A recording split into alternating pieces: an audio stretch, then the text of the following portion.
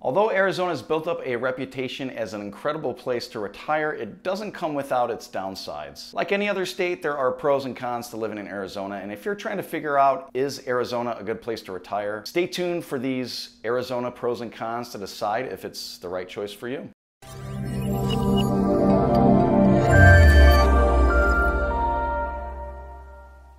Get started with pro number one. And when most people think about the pros of living in Arizona, the first thing that comes to mind is 330 boasting sunny days. That's right, 330 days of sunshine. It's easy to see why this tends to be the driving factor. The temperate weather makes it easy to get outside regularly, and you can take a stroll around one of the many picturesque parks like the Desert Botanical Garden or all the little parks that are within all of the towns and the cities here. You also have the natural spaces like the Grand Canyon, for instance. So there's just a lot to offer here in terms of landscaping and beauty. So let's proceed to pro number two, and that's none other than golf and outdoor activities. Many people retire in Arizona for golf alone. With so many incredible courses throughout the state, it's easy to get out on the green any time of the year. After all, rainy days rarely ruin a good golf game in Arizona. There's also a lower humidity here. I'm sure you've heard it's a dry heat, so you're not out there sweating it out on the golf course. You're just kind of melting. Just bring an umbrella, you'll be fine. Moving on to the third pro, the food scene and the fine arts in Arizona. You wouldn't have known it, but Arizona is home to some of the best Mexican food in the country. And while this is certainly true, that's that's not all the local food scene has to offer. There are also several James Beard Award nominated chefs throughout the entire state. Apparently they like it here. And they feature all different types of cuisines and it also features a flourishing fine arts scene. You can visit one of the many museums throughout the state or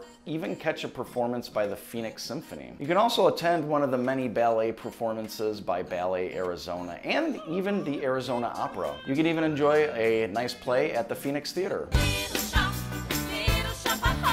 So pro number four is sports teams. If you prefer sports over ballet, don't worry. Arizona's home to obviously a few different major league sports teams. And spring training season for baseball also brings in a ton of teams from across the country. And in case you're not familiar with who's here, well, that includes the Cubs, the White Sox, the Reds, the Indians,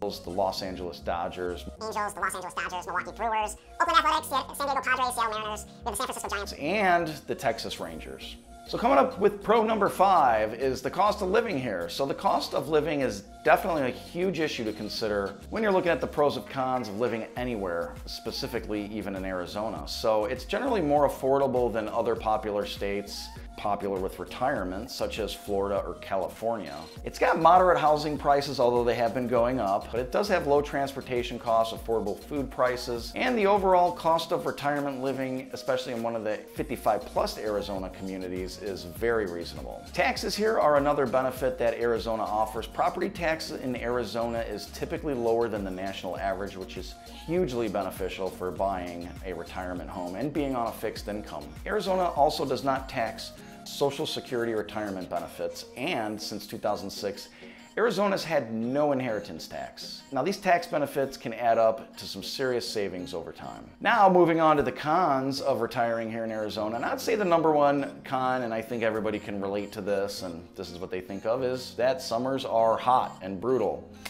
All that sunshine in the winter months, however, makes up for a very hot summer, and the dry desert climate is not gonna be for everyone. You should also consider the summer storms and the desert critters that call this space home. So June, July, and August are definitely the hottest months, in the desert and can be tough for some people to handle. It's obviously going to be a little difficult to get out for a round of golf when it's 110 and the flagpole burns your hand. So one thing to keep in mind is it's said that arthritis is cured in two places of the world. One of them is going to be the Middle East and the other one is Arizona. So pick the spot that's right for you. Con number two, because of this desert climate, if you're a fan of ocean views or large oak trees, you might be disappointed by Arizona's cacti and ton of Palo Verde trees.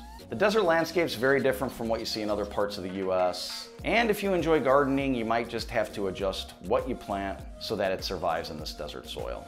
Arizona is obviously really dry and requires you and your plants to drink a lot of water to stay hydrated.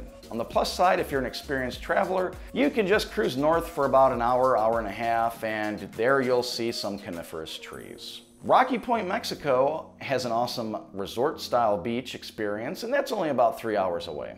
Now, the third con would be haboobs and monsoons. If you've never experienced these summer storms, they can be a bit scary. A haboob is a giant dust storm that just looks like a wall of dust sweeping over an area. Although they don't last very long, they can make quite an impact, and you'll want to be inside when they hit. The summer monsoon storms begin in June and last through August or September, and these are just short, brief storms with thunder, lightning, and occasional flash flooding. The locals are pretty used to these weather outbursts and even tend to enjoy them for a quick relief from the summer heat.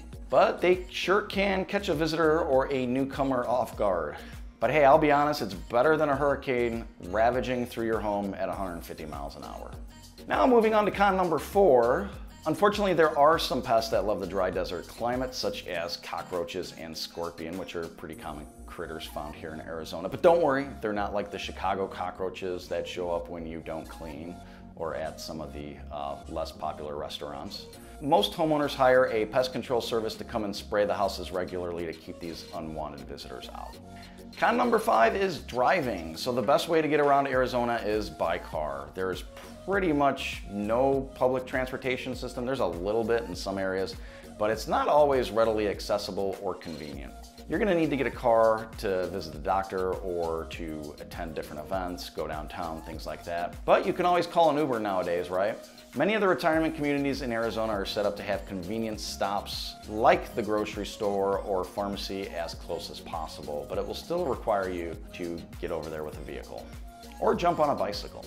Now that you've seen the pros and cons to retiring in Arizona, you'll have a better idea of what it's like to retire in the Valley of the Sun. And at this point, you may be wondering, well, hey, where's the best place to live in Arizona? There are so many different active adult communities throughout this state. It can be really tricky to select the one that's perfect for you. There are mobile homes with a land lease that costs under $50,000. There's some nice homes in communities like Leisure World and Mesa, which are priced around $300,000. Or there's some resort style homes in places like Encanterra, which are $500,000 and over. I have another YouTube video on the five best 55 plus communities in Arizona, in my opinion, that you might find interesting too. You can view it here.